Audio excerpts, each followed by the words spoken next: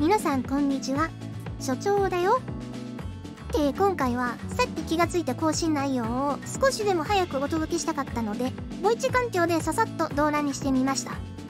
本日ご紹介するのは生成した画像の修正や修復を行うツールについてです。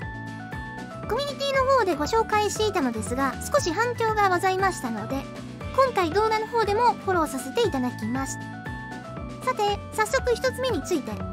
これ大変楽しいツールなのですが劣化した画像を超解像の技術でとても鮮明にすることができる DiffBIR についてです。インストールの手順が少し簡単になっていましたのでご紹介します。こちらのツールどうやら内部的に処理が2つのステージに分かれていまして1つ目でノイズを除去2つ目で Stable Diffusion超改造処理を行うというものでまあとにかくすごいんですよ精度が。昔のテレビドラマで出てきた近未来風の表現と申しますか？犯人の顔を鮮明にとかよくあるじゃないですか。あれが現実の技術になってきているという印象を受けました。今回はこちらが動作する環境を作成していきます。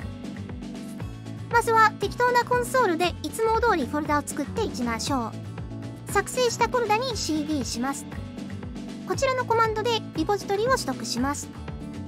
生成したフォルダに移動していきます。移動した後仮想環境を作成します。作成した仮想環境に移行します。仮想環境に移行できたらこのように左側に VM 部と追加されたことを確認しておいてください。またインストーラーを更新しておきましょう。この辺りはいつも通りですね。次にこちらもいつも通り必要な PyTorch をインストールしていきます。公式では結構低めのバージョンを要求されていますが最新で OK です。次に Xformers もインストールします。こちらも最新ですね。インストールが完了すると下記のような画面になります。ここで下記のコマンドで追加のインストールパッケージの名前が書かれたファイルイクイアメンツテキストをメモ帳で開きます。こちら当初はなかったので作成しなければならなかったはずなんですが追加されたんでしょうね。さてメモ帳が開きましたらこのようなパッケージリストが表示されたと思います。この中からすでにインストールした関連パッケージとトリトンを削除します。こんな感じですね。これで上書き保存しておきます。さて処理が終わりましたら同じターミナルでこのようなコマンドで追加パッケージをインストールします。全てインストールが終了したらこのようにプロンプトに制御が戻ります。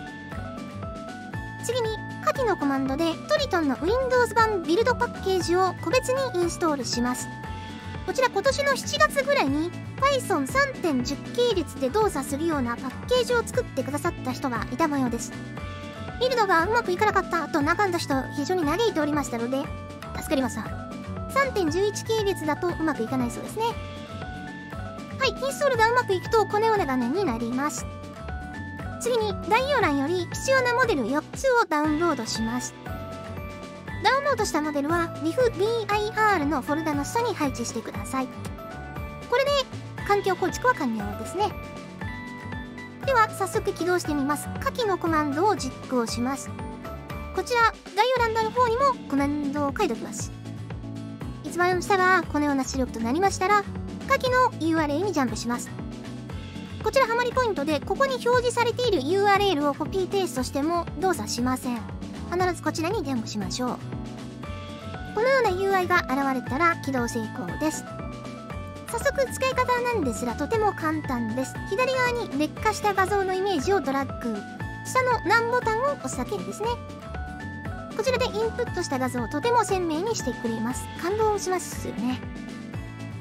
次に一度プログラムを終了し今度は下記のコマンドを実行して起動してみます。こちらは顔の修復に特化したモデルを読み込んでいます。起動してきた UI に顔の画像を投入して同様にランボタン。人の顔もくっきりと修正してくれています。さて2回目からの起動がちょっと大変なので起動用バッチファイルを作成しておきましょう。このようなファイル名でファイルを生成します。場所は RIFBIR フォルダの下がいいかなと思います。2行目のこの CD の行については各自インストールされたフォルダのパスを記入してください。仮想環境に移行してツールを起動するとこまでを自動でやってくれます。一般用と顔用の2つ作っておけばこのファイルはダブルクリックするだけで利用できるようになりますよね。これ本当に利用シーンたくさんあると思っていますのでぜひ環境を作ってみてください。ひょっとすると CUDA ツールキットの環境も必要になる可能性があるのですがうまく起動しない場合はこちらを疑ってみてください。ツールキットのインストール手順については過去動画で解説していますのでこちらも合わせてご覧になってください。さて続きましてこちらもコミュニティの方で少し反響がございました Stable Diffusion の拡張機能のご紹介です。生成した画像の一部をきれいに消すことができる Lama Cleaner についてです。少し起動までがややこしいので早速インストール手順から解説します。いつも通りエクステンションズタブインストール from URL より下記の URL を入力してインストールボタンをクリックします。この後セッティングスよりリロード UI ボタンを押して UI を再起動します。再起動するとこのように Lama Cleaner タブが出現していますがまだインストールが行えていません。こちらの Lama Cleaner タブをクリックするとこのようにインストールアップデートというボタンが現れますのでこちらをクリックします。とても分かりにくいのですが左上の方にちっちゃくインストールドと表示されるまで待ちます。この表示が出ましたら下のスタートボタンをクリックします。別のウィンドウがポップアップしこのような画面で止まります。これでインストールと起動が完了しました。あとはさらに下のオープンボタンをクリックすると画面下部がこのように変化します。この黄色い部分にイメージをドラッグすると利用できます。ひとまず起動するとマウスカーソルがこのように黄色い円になります。拡大したいところでマウスカーソルをグリグリやるとこんな風に拡大もねできます。試しにそうですね左下のこのフォントみたいなやつですね。これを消してみたいと思います。スライドバーで黄色い円の大きさを変更してこんな風に消したい箇所を左クリックホールドしながら引っ張ると画面が3回ぐらい暗転した後こんな風に綺麗にね消せます。次は円を大きくしてこの部分こんな感じになぞってみます。グリグリグリっていう感じですね。マウスから手を離すと暗転がこのようにスタートしましてまあ、こんな風に綺麗に消せます。こんな感じで直感的な操作で連続して不要な部分を処理できますので大変便利かと思いますね。またちょっとちっちゃくしてこの奥の左の家ですね。今度これ消してみたいと思います。はい。すごく便利ですよね。でさらに便利なショートカットの機能もございましてこの右上のこちらに情報がありますので一度ご確認なさってください。コントロール Z とかですかね。あのアンドゥこういうのを焼いちゃいます。今回は以上となります。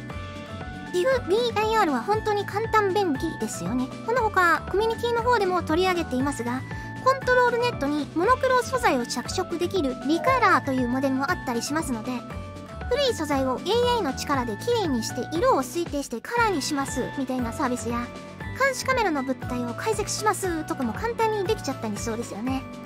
今後も画像生成関連の動向をますます目が離せない状況です。また新しい技術や加工テクニックなどございましたら当チャンネルでご紹介させていただきます。コミュニティの方でも最新の話題について触れてたりしますのでこちらも合わせてチェックしてみてください。コメントとかもねどうぞお気軽に、えー、書いてってください。チャンネル登録高評価ボタン引き続きお待ちしております。いつもありがとうございます。それでは次回の動画でお会いしましょう。社長でした。バイバイ。